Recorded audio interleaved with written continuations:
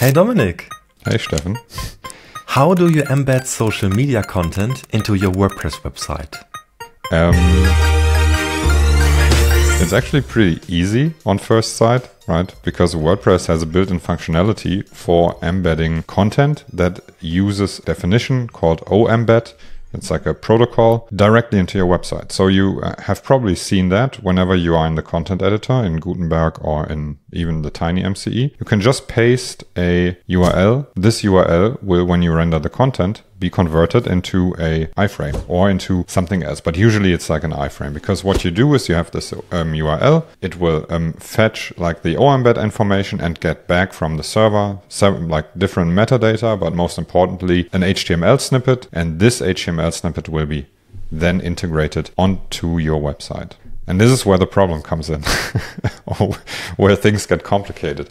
Because this HTML snippet, it can be anything, right? It can just be regular um, HTML, like uh, normal elements that you would find on any website. You, it could also be an iframe. It could be scripts. It could be uh, CSS and so on, or a link tags uh, or style tags. You don't really have any control over it, right? Um, you cannot really change the looks usually, um, depending on what it is uh, or how this HTML is structured. Then bound to um, what this OEmbed provider offers you or what it provides you. Yeah. And um, wait, I had a question in my head. I forgot it. yes. Why is this problematic? That that was Why my is question. This problematic, you ask. but oh, even more specific. One of the things I immediately think about is also the GDPR, the privacy, right? When you embed, embed something from an external website, you don't really know when they are loading on your website, if that's an iframe, right? So I think about what what steps should you take to mm-hmm. ensure that you stay privacy conform with using OEmbeds. Mm.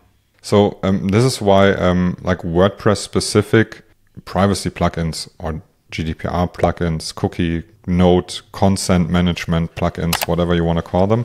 This is where they come in really handy because usually they hook into these um, OEmbed resolutions and then replace an iframe or something with like a placeholder. And only when you have accepted a certain uh, um, consent or like cookie, then they will load the iframe. So this is super nice. And this is something that an external solution cannot give you on such a, like early level, right? Like you should definitely know what you embed and and how this works. Also, like what is a problem? What we've seen is that like sometimes like it, it might not even be a privacy issue, right? Because you don't necessarily need to load an iframe, although this is what most providers do. But like the original OEmbed a resolution is taking place on the server. And if this is not cached, uh, and if you don't have any caching mechanism, and then every time you request a page, it always has to fetch like the OEmbed information first. So, and if you have like uh, lots of uh, um, OEmbeds on one page, this can take a long time. So rendering will uh, be delayed. And also, if the external server is offline, for example, uh, your site might also hit a timeout while rendering, and then your visitor also will get a, a, an error message. So be sure that you have like some sort of caching mechanism in there, either like full page caching or you can also like cache these OEmbed responses separately in, in your database.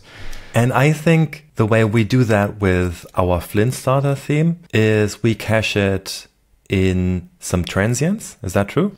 Sometimes, yes. Not always. So actually it's I think because we we usually in our projects we use heavy page caching, right? Then it is actually a nice benefit to whenever you clear your page cache that you also refetch the OEmbed code because this might change. Like you you you don't know. Something was updated, some newer versions are on there, some newer formats and so on. All right.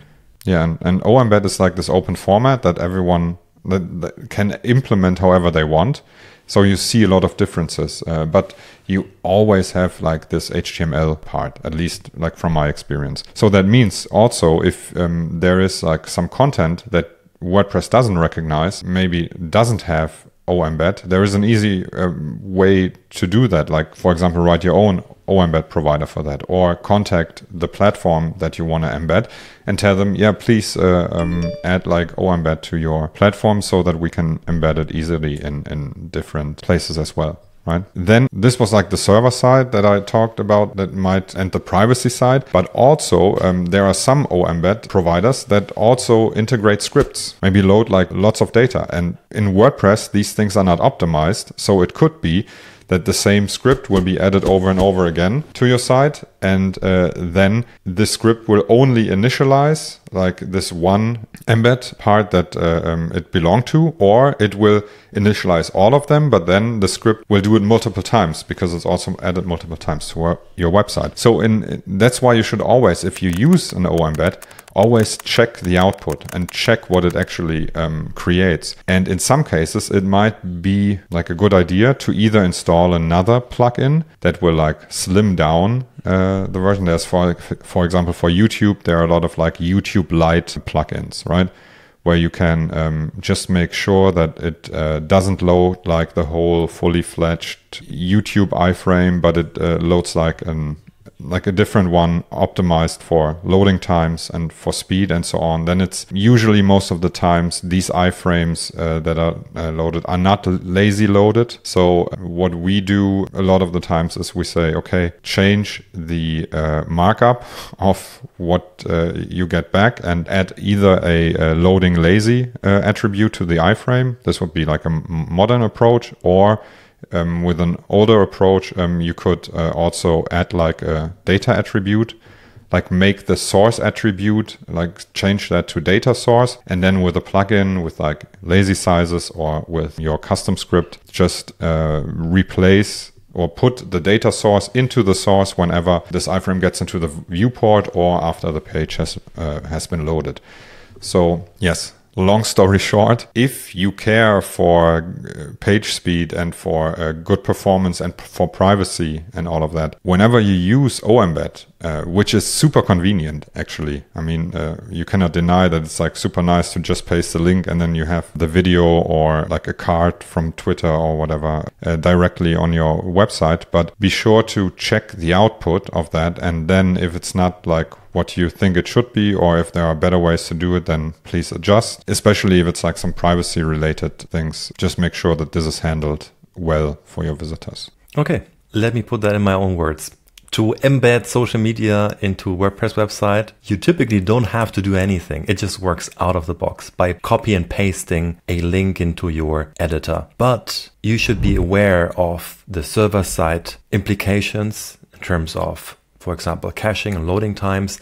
You should be aware about the privacy and you should be aware about the performance implications that this might have. So if you're looking at a WordPress website at scale, be sure to watch OEmbeds and to optimize them where needed. Yes, great summary. Thanks.